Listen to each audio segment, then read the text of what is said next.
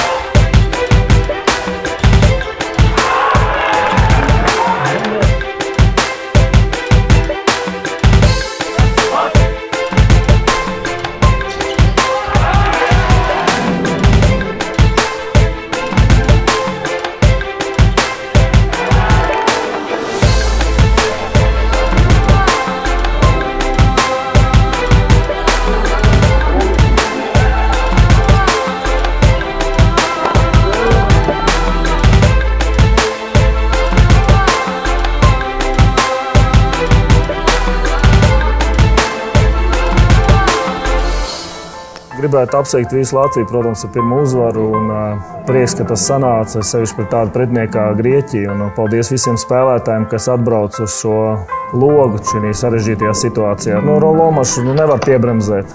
Jā, nu vienīgi vilciens.